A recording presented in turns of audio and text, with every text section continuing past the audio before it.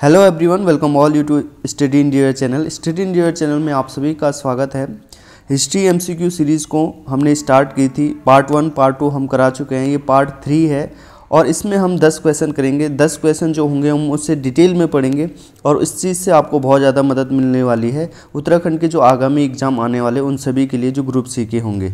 देखिए, पहला क्वेश्चन यहाँ पे आपके लिए है कि भारतीय communist party C P I जिन्हें जिसे कहते हैं इंग्लिश में, का अस्तित्व किस वर्ष में आया था? ए ऑप्शन है आपके पास 1912 बी है 1915 एन सी है 1918 और डी है 1925 देखिए, जो कम्युनिस्ट पार्टी थी, जो सी पी आई भी बोलते हैं, ये इसका अस्तित्व आया था 1925 में और इसको स्थापना की थी एम एन रॉय ने।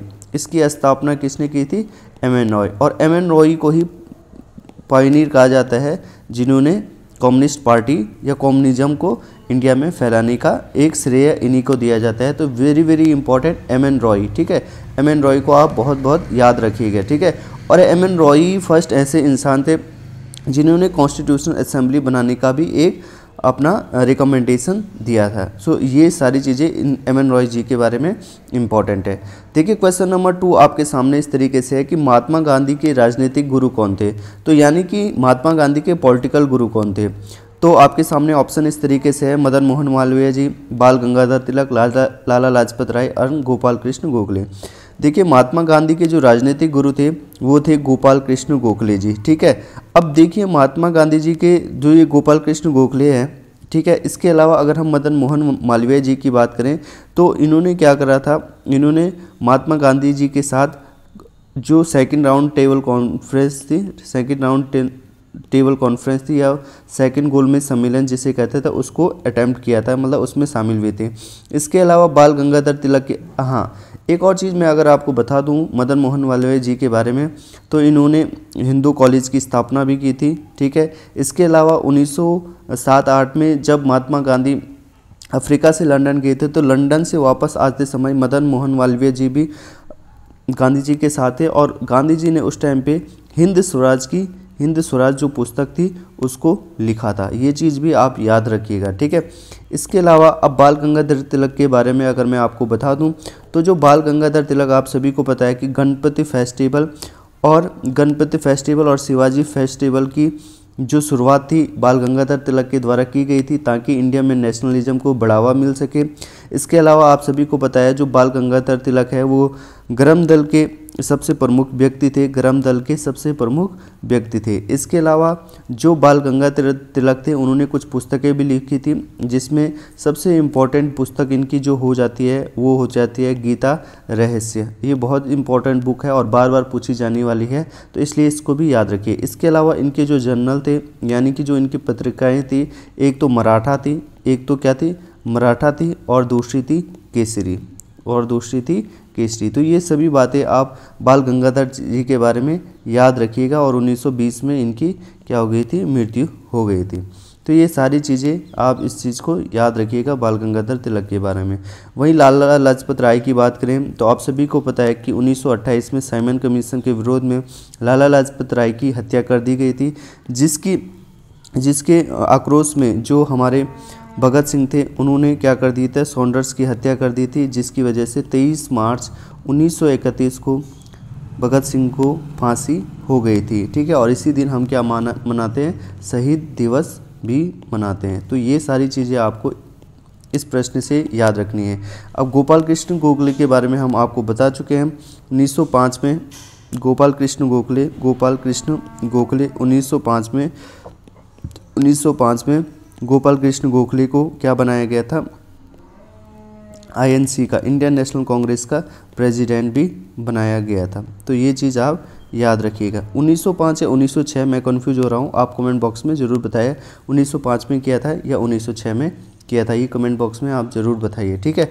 इसके अलावा सारे जहाँ से अच्छा हिंदुस्तान हमारा इसके रचनाकार कौन थे? तो इसने, इसके रचनाकार सिंपल है, इसके रचनाकार इकबाल थे, ठीक है? मोहम्मद इकबाल जिन्हें कहते हैं, सारे जहाँ से अच्छा हिंदुस्तान हमारा, इन्होंने लिखा था। रविन्द्रनाथ टैगोर, आपको पता है, रविन्द्रनाथ टैगोर को नाइटहुड की उपाधि दी गई थी, ठीक है? चौधरी रहमत अली, इन्होंने पाकिस्तान नाम दिया था, ठीक है? और भगत सिंह की एक बुक है, why I am atheist, why I am atheist, ठीक है? तो ये बुक भगत सिंह की है तो इस चीज़ को भी आप याद रखिएगा, ठीक है? तो आई होप आप ये सारी चीज़ें समझ गए होंगे, ठीक है? तो ये है, और रविन्द्रनाथ टैगोर के बारे में एक याद रखिएगा, एक तो इन्होंने इंडिया का इंडिया का नेशनल एंथम तो लिखा ही लिखा है साथ साथ में इन्होंने बांग्लादेश का भी नेशनल एंथम लिखा है, जिसका नाम है अमार सोनार बांग्ला, अमार सोनार बांग्ला, ठीक है? तो ये चीज़ आप इस चीज़ से याद रखिएगा। ठीक है? और नाइटहुड की उपाधि इन्होंने क्या कर दी थी? रिनाउंस कर दी थी, छोड़ दी थी आफ्टर जलियावाला बाग हत्याकांड, ठीक है? इसके बाद यहाँ पे आप क्वेश्चन नंबर फोर है कि दीन बंधु के नाम से कौन विख्यात है? तो दीन बंधु के नाम से विख्यात है सी एफ़ एंड्रूज तो दीन बंधु के नाम से सी एफ़ एंड्रूज कौन है? सी एफ़ एंड्रूज ये विख्यात है, ठीक है? ये किसके टाइम पे थे? ये थे 1904 और 5 के टाइम पे थे, ठीक है? और इस टाइम पे कौन गवर्नर जनरल था, ये भी आप मुझे ज़रूर बताइए, या आप बोल सकते हैं वायस रॉय ठीक है? तो इस चीज़ को मेरे को ज़रूर बताइए आप कमेंट बॉक्स में। कुछ चीज़ें आपके लिए छूट दी जा रही हैं ताकि आपका भी रिवीजन हो जाए, या आप इन चीज़ों पे रिसर्च करो। इसके अलावा, देखिए, चित्रंजन दास। देखिए, चित्रंजन दास और सी एफ़ एंड्रूज में आप यहाँ पे कंफ्यूज मत हो जाए क्योंकि चित्रंजन दास, यानी कि सी आर दास को क्या कहा जाता था? देश बंधु कहा जाता था। देश बंधु कहा जाता था, न कि दीन बंधु ठीक है? दीन बंधु अगर बात करेंगे तो सी एफ़ एंड्रूज को और सी आर दास को देश बंधु कहा जाता था। और सी आर दास को पॉलिटिकल गुरु कौन मानते थे? पॉलिटिकल गुरु कौन मानते थे? ये मानते थे एस सी बोस, यानी सुभाष चंद्र बोस। इस चीज़ से आप, इस क्वेश्चन से इतनी सारी चीज़ें आप याद रख सकते हैं, ठीक है? तो बार बार मैं चीज़ों को रिपीट करता हूँ ताकि आपके दिमाग में ये सारी चीज़ें फिट हो जाए। इसके अलावा, क्वेश्चन नंबर फाइव है आपके पास। माई एक्सपेरिमेंट विथ ट्रूथ की रचनाकार कौन है? ये तो बहुत ज़्यादा सिंपल है। इसका जो आंसर हो जाएगा, ये हो जाएगा महात्मा गांधी जी। इसके अलावा मौलाना अब्दुल कलाम आज़ाद की बात करें तो he was the first education minister of the India इसके अलावा इन्होंने एक बुक लिखी है very very important India wins freedom इन्होंने एक बुक लिखी है, जिसका नाम है इंडिया विंस फ्रीडम ठीक है? इंडिया विंस फ्रीडम ये बहुत ही इंपॉर्टेंट बुक है, इस चीज़ को आप याद रखिएगा। इसके अलावा इन्होंने एक जर्नल भी लिखा है, उस जर्नल का नाम है अल हिलाल उस जर्नल का नाम क्या है? अल हिलाल तो ये सारी चीज़ें इंपॉर्टेंट है। और इस, ये जो इम्पोर्टेंट चीज़ें हैं, ये क्वेश्चन आपसे पूछे जा सकते हैं। तो जो जो चीज़ें मैं यहाँ पे आपको एक्स्ट्रा बता रहा हूँ, वो सारी चीज़ें क्वेश्चन पूछ, वो सब क्वेश्चन पूछे जा सकते हैं। अब तो उनको भी आप नोट रखिएगा। देखिए, जो जयप्रकाश नारायण जी है जय जयप्रकाश नारायण जी है, उन्होंने टोटल रेवोल्यूशन या संपूर्ण क्रांति जिसे हिंदी में कहते हैं, उसका नारा दिया था। याद रखिएगा, गांधीवादी थे ये। जवाहरलाल नेहरू ने डिस्कवरी ऑफ़ इंडिया पुस्तक लिखी थी। और इसके अलावा इनका जो पेपर था, नेशनल हेराल्ड।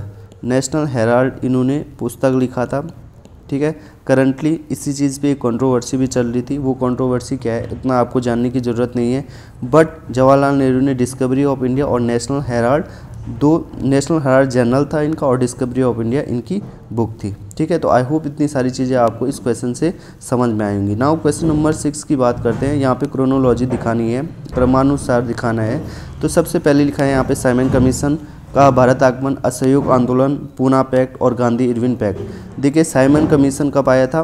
साइमन कमीशन आया था 1928 को, जबकि असहयोग आंदोलन हुआ था 1920 को, पूना पैक्ट हुआ था 1932 को, ठीक है? और गांधी इरविन पैक्ट हुआ था 1931 को। ठीक है? तो यानी कि सबसे पहले दूसरा नंबर का, यानी कि असहयोग आंदोलन, उसके बाद पहला नंबर का, यानी कि साइमन कमीशन, उसके बाद चौथे नंबर का, यानी कि गांधी इरविन पैक्ट और तीसरे नंबर पे पूना पैक्ट यानी कि two one four three, two one four three आपका आंसर हो जाएगा डी। ठीक है? तो ये सारी चीज़, इस तरीके से आपको क्रोनोलॉजी भी याद होनी चाहिए, क्रमानुसार याद होना चाहिए कि कौन सी चीज़ कब पहले घटी थी। ठीक है, ये सारी चीज़ें अगर आपको याद होंगी तो इस तरीके के क्वेश्चन आप कर सकते हैं। देखिए क्वेश्चन नंबर सेवन है। क्वेश्चन नंबर सेवन में वो कह रहा है कि दांडी यात्रा में गांधी जी ने कितनी दूरी तय करके नमक कानून का विद्रोह किया था। देखिए, उस टाइम पे कानून जो नमक था, नमक पे क्या लिखा लगाया जाता था? टैक्स लगाया जाता था। इसी वजह से दांडी मार्च स्टार्ट किया गया था और दांडी मार्च कब स्टार्ट हुई थी? 12 मार्च को। ठीक है 12 मार्च को। और ख़त्म हुई थी 6 अप्रैल को। साबरमती से दांडी की तरफ़ बढ़े थे। ये इस तरीके से गुजरात का अगर मैं मैप बनाऊँ तो ये इस तरीके से है। तो यहाँ पर साबरमती है और इधर कहीं दांडी है। ठीक है, इधर कहीं दांडी है। तो इस तरीके से चले थे।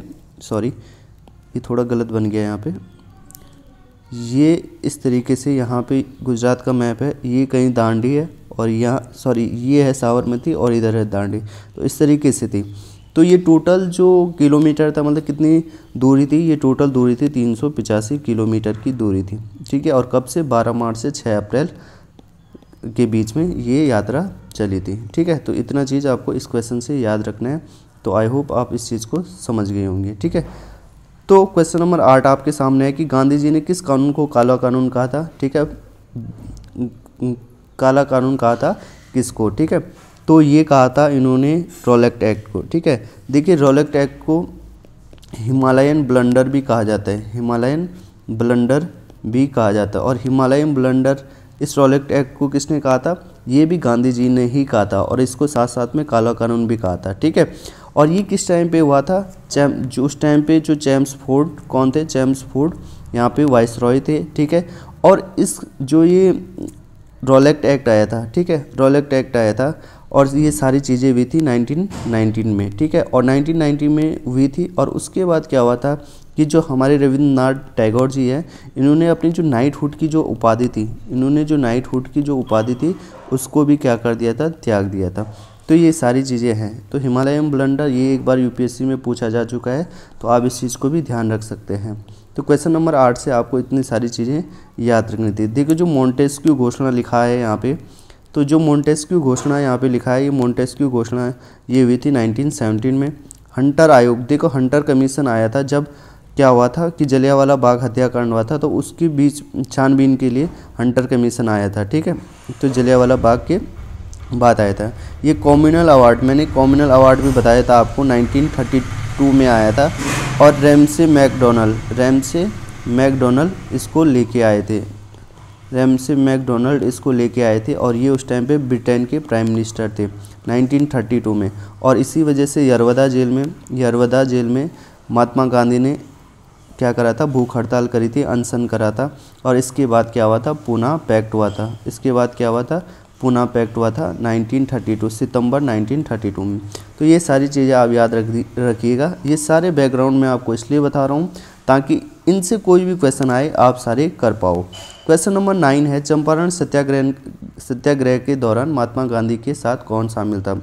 देखिए, चंपारण जब इंडिया, भारत, जब महात्मा गांधी जी इंडिया आए थे तो कहा जाता है उन्होंने केक खाया था। यानी कि सबसे पहले वो चंपारण गए थे, फिर उसके बाद अहमदाबाद गए थे और उसके बाद वो खेड़ा चले गए थे। अब जब वो चंपारण गए थे तो चंपारण उनको बुलाया था, राजेंद्र प्रसाद शुक्ला ने बुलाया था। ठीक है, वहाँ के जो लोग थे, वो इंडिको प्लांटेशन से इंडिको प्लांटेशन से बहुत ज़्यादा दुखी थे और साथ साथ में वहाँ पे तीन कटिया सिस्टम भी चल रहा था। ठीक है? तो इन सारी चीज़ों से परेशान होकर राजकुमार शुक्ला जी ने महात्मा गांधी को चंपारण बुलाया और महात्मा गांधी के साथ थे वहाँ पे, देखिए राजेंद्र प्रसाद जी, ठीक है? क्योंकि राजेंद्र प्रसाद भी कहाँ के थे? बिहार के थे। और अनुग्रह नारायण सिंह, ये दोनों ही महात्मा गांधी के साथ थे। इसके अलावा कुछ और लोग भी थे, जैसे जे पी कृपलानी जी, ये आचार्य जे जे पी कृपलानी, ये सारे भी थे। बट क्वेश्चन के अनुसार सी ऑप्शन इसका क्या हो जाएगा? सही हो जाएगा, ठीक है? तो आई होप यही सारी चीज़ें आप समझ गए होंगे इस क्वेश्चन से। देखिए, जो भी एक्स्ट्रा चीज़ें आपको बताई जा रही है, उसे ध्यान में ज़रूर रखिएगा, क्योंकि क्या होगा कि जो भी क्वेश्चन है बनाए जा सकते हैं आपके पेपर में, वो सारी चीज़ें मैं आपको बता रहा हूँ। क्वेश्चन नंबर टेन देखिए, आज सिर्फ़ क्वेश्चन नंबर टेन तक करेंगे, क्योंकि मैं आपको बहुत सारी इन्फॉर्मेशन भी दे रहा हूँ। और इससे क्या होगा कि अगर ज़्यादा क्वेश्चन करेंगे तो आप रिटेन भी नहीं कर पाएँगे और साथ साथ में वीडियो लंबी भी हो जाएगी और आप बोर भी होते जाएँगे। तो क्वेश्चन टेन तक कराते हैं आज, और इसके अलावा जो क्वेश्चन एलेवन से लेकर ट्वेंटी तक होगा, वो अगले वीडियो में हम करा लेंगे। तो यहाँ पे लिखा है, कौन आज़ाद हिंद फौज से संबंधित नहीं है? तो इस चीज़ को आप बहुत ज़्यादा ध्यान से देखिएगा, नहीं है। तो आज़ाद हिंद फौज यानी आईएनए से कौन संबंधित नहीं है? तो ऑप्शन इस तरीके से दिया गया है। देखिए, आईएनए में कौन कौन थे? देखो, यहाँ पे आपको देखो, ये देखो, Gurdayal Singh Dhillon, Shahnawaz Khan, general Mohan Singh and R C Dutta. सबसे पहले मैं जनरल मोहन सिंह के बारे में बता देता हूँ। जनरल मोहन सिंह ने ही आईएनए की स्थापना करी थी सिंगापुर में। सिंगापुर में, ठीक है? 1943 में 1943 में। अब देखिए, ये दो नाम आपको कहाँ से याद रखने हैं? अगर आपने इंडियन हिस्ट्री पढ़ी होगी तो गुरदयाल सिंह ढिल्लो, शहनवाज खान और इनके साथ एक और थे, उनको क्या गई थी? फांसी दी गई थी। उनको क्या कर दी गई थी? फांसी दी गई थी। सॉरी, फांसी नहीं, इनके खिलाफ आई आईने ट्रायल चलाए गए थे। इनके खिलाफ क्या गए थे? आई आईने ट्रायल चलाए गए थे या शायद इनको फांसी भी दी गई थी, ठीक है? तो ये तीनों नाम आपको वहाँ से याद रखने थे। सहनावाज खान हो गया, गुरदयाल सिंह टिल्लो हो गया और प्रेम कुमार सहनावाल। ये तीन लोग थे, एक थे, ये पंजाब, पंजाबी थे, सहनावाज खान मुस्लिम थे और प्रेम कुमार सिंह ढिल्लो, सॉरी, प्रेम, जो प्रेम कुमार सिंह थे, वो हिंदू थे। तो ये तीन थे जो तीनों रिलीजन से संबंधित थे। इनके खिलाफ आईनी ट्रायल चलाए गए और उसके बाद इनको क्या कहा गया? फांसी दी गई थी। तो ये तीन नाम आप वहाँ से याद रख सकते थे और जनरल मोहन सिंह का नाम तो आपको पता ही है। तो यहाँ पे हमसे नहीं पूछा है तो ये तीनों तो नहीं होंगे, आर सी दत्ता हो जाएँगे। तो आर सी दत्ता क्या थे? एक इंडियन इकोनॉमिस्ट थे, इंडियन इकोनॉमिस्ट थे, जिन्होंने एक पुस्तक लिखी थी, the the economic history of India, the economic history of India. तो ये चीज़ आप याद रखना। आर सी दत्ता का नाम आप कहाँ से याद रख सकते थे। जब ड्रेन ऑफ़ वेल्थ का जो कॉन्सेप्ट आता है, जो कि लाया गया था दादा भाई जी नौरोजी के द्वारा तो ड्रेन ऑफ़ वेल्थ का जो कॉन्सेप्ट था, उसमें ड्रेन ऑफ़ वेल्थ में किसने अपनी टिप्पणी दी थी? आर सी दत्ता ने भी अपनी टिप्पणी दी थी और अपनी पुस्तक लिखी थी उन्होंने इकोनॉमिक हिस्ट्री ऑफ़ इंडिया तो ये सारी चीज़ें आपको इस इस पर्टिकुलर क्वेश्चन से याद रखनी थी। तो क्वेश्चन नंबर टेन तक ही हम, मैं आपको करा रहा हूँ, क्योंकि वीडियो लंबी हो जाएगी और आपने इसमें बहुत सारी चीज़ें समझी होगी। अगर वीडियो आपको अच्छी लगती है तो ज़रूर सब्सक्राइब कीजिए हमारे चैनल को ताकि हम और ज़्यादा वीडियो आपके लिए बना पाएँ, ठीक है? और अपने साथियों के साथ शेयर भी कीजिएगा इसको ताकि उनको भी फ़ायदा हो सके। अभी के लिए इतना ही, रखते हैं। जय हिंद दोस्तों।